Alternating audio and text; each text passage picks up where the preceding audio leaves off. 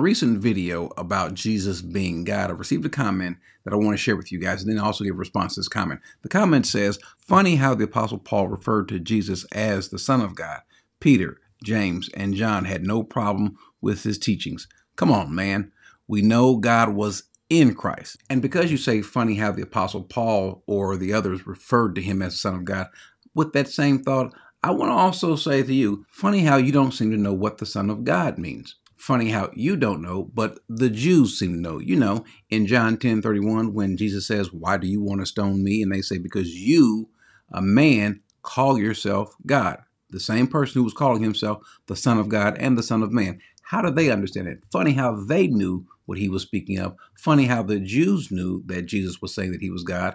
Funny how they knew that, but funny how you don't know that. Funny how in Hebrews 1, God calls Jesus God. He calls the Son God. But how could that be? There can be no other gods. God himself said you can have no other gods. Is he going against himself? Funny how he calls him God and knows he's God and it doesn't violate anything. Funny how you don't know that. Funny how Thomas, you know, the apostle Thomas calls him God and Jesus doesn't correct him, just like when the Jews accused him of calling himself God, he didn't correct them. Funny how Jesus is fine with being called God.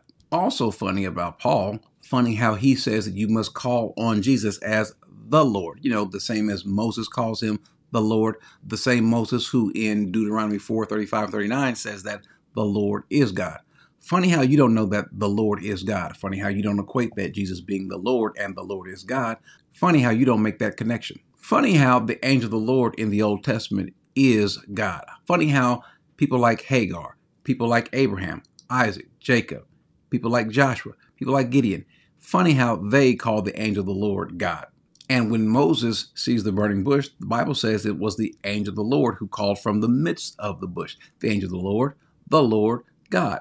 Funny how everyone understands that the angel of the Lord is God, everyone but you. Funny how God himself says there's only one Lord and Savior. Who is the Savior? Well, who is the Savior? Well, in Isaiah 43 11, God says he's the Savior. Funny how God says that I am the Lord, that is my name, in Isaiah 42 8. Funny how you don't make the connection between God being the Lord and Jesus being the Lord. Funny how God says that he will not share or give his glory with anyone, but he does to Jesus.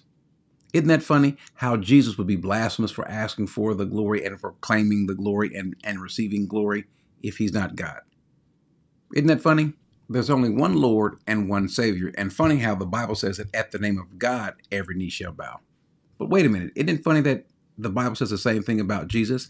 At the name of Jesus, every knee shall bow and tongue confess. Funny how in Isaiah 44 6 that God is the first and the last. But then in Revelations, it's also interesting that Jesus is the first and last.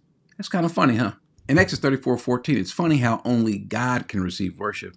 However, interestingly enough, funny enough, Jesus receives worship. Funny how you miss all of this relating Jesus as being God. That's funny. However, what's not so funny is that if you do not see that he is the I am, if you do not see that he is the Lord, if you do not see that Jesus is God, according to Jesus' own words, what's not so funny, he says in John 8 24 that you will die in your sins.